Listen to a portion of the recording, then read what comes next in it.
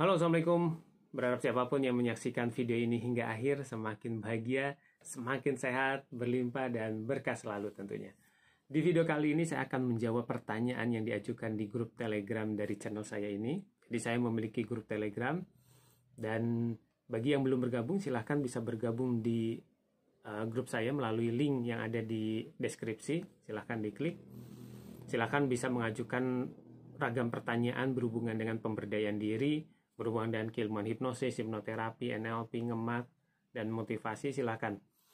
Hmm, insya Allah saya jawab bisa melalui grup tersebut langsung di chat ataupun saya jawab melalui video seperti ini. Oke langsung saja saya akan menjawab pertanyaan yang diajukan. Sebelumnya saya akan membacakan terlebih dahulu ya, membacakan terlebih dahulu. Pertanyaannya apa? Oke, Assalamualaikum. Mohon maaf Kang Fadli, izin bertanya hal-hal yang sedikit sensitif. Apakah bisa hipnoterapi digunakan untuk mengubah orientasi seksual? Misalnya dari homoseksual atau lesbian ke heteroseksual. Terima kasih sekali lagi mohon maaf. Wassalamualaikum. Oke. Memang agak sedikit sensitif ya membahas hal ini. Tapi saya mencoba untuk menjawabnya.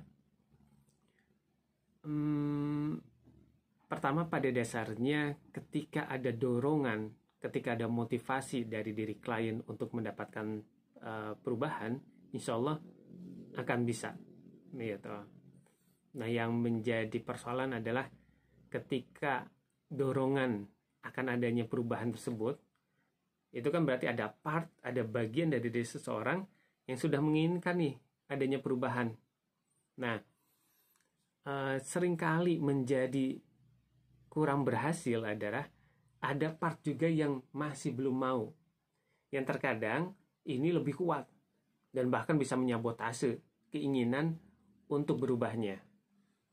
Nah, di dalam hipnoterapi hmm, bisa memungkinkan membantu untuk menemukan hal yang menyabotase tersebut.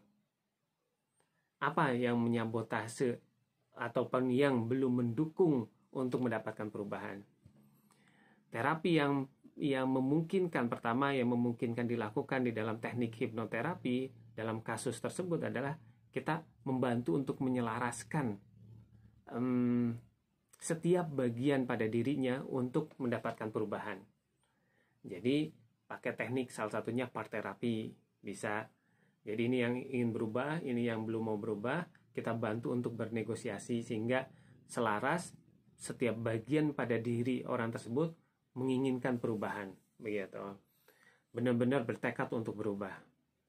Insya Allah jika selaras akan lebih mudah untuk mendapatkan perubahan. Tapi jika ada bagian yang masih belum ya kita uh, selesaikan terlebih dahulu. Bisa menggunakan partai terapi tadi bisa juga kita telusuri. Bisa jadi ada faktor uh, pencetus dan faktor pendukung. Bisa jadi ada pengalaman-pengalaman tertentu di masa lalu itu bisa menggunakan regresi biasanya.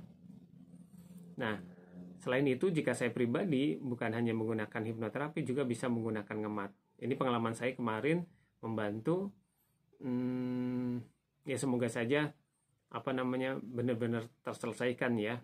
Kemarin saya sempat uh, membantu karena kan hmm, hal tersebut perlu tetap uh, kuncinya ada pada diri klien untuk uh, terus berusaha untuk memaintenance kondisi yang eh, diharapkan tersebut begitu. Hmm, ketika saya menggunakan ngemat, saya coba ngemat faktor pendukungnya begitu, part yang mendukung lah, part yang mendukung untuk dia uh, berada pada kondisi tersebut ya. Hmm, itu apa? Ternyata ketika saya emat ada bagian yang seolah seperti kayak sendirian, kemudian merasa tidak aman begitu. Ada bagian yang seperti itu, gitu. Hmm, dan saya coba telusuri lagi. Saya telusuri, uh, coba akses saya emat ketika saat masih kecil, kurang lebih usia SD begitu. Ternyata ketika saya hmm, akses, saya mendapatkan seperti seorang anak kecil yang sedang menangis begitu. Saat kita saya, saya sampaikan ke orang tersebut pengalamannya seperti apa di masa lalu ternyata memang ada pola asuh yang kurang baik dari orang tua khususnya oleh ibunya begitu. Nah, hal tersebut bisa jadi faktor pendukung, bisa jadi faktor pencetus begitu. Jadi faktor pencetus itu yang benar-benar intinya core-nya mengapa uh, seorang itu akhirnya punya part tertentu begitu. Dan ada faktor pendukung yang memperkuat part tersebut begitu. Faktor-faktor pendukungnya. Misalnya pada kasus tersebut uh, pola asuh dari ibu yang kurang baik, kemudian faktor pendukungnya juga kakak-kakaknya perempuan semua dan ada perlakuan kurang baik juga gitu. Nah saya bantu dengan ngemat hmm, part tersebut yang tadi yang ngerasa sendiri dan merasa kurang aman tadi eh, kita kita ajak komunikasi begitu. Hmm, ya saya rasakan sih lebih ini ya lebih tenang begitu. Nah dari situ memungkinkan untuk diselaraskan gitu untuk mendapatkan perubahan.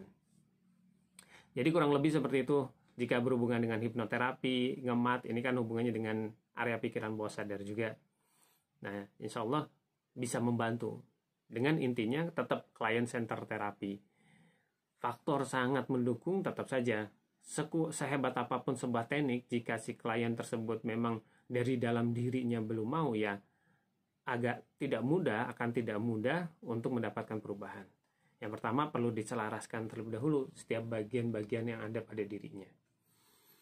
Berharap uh, jawaban saya bisa membantu dan berharap siapa pun yang menyaksikan video ini hingga akhir semakin bahagia, semakin sehat, berlimpah dan berkah selalu tentunya. Wassalamualaikum warahmatullahi wabarakatuh.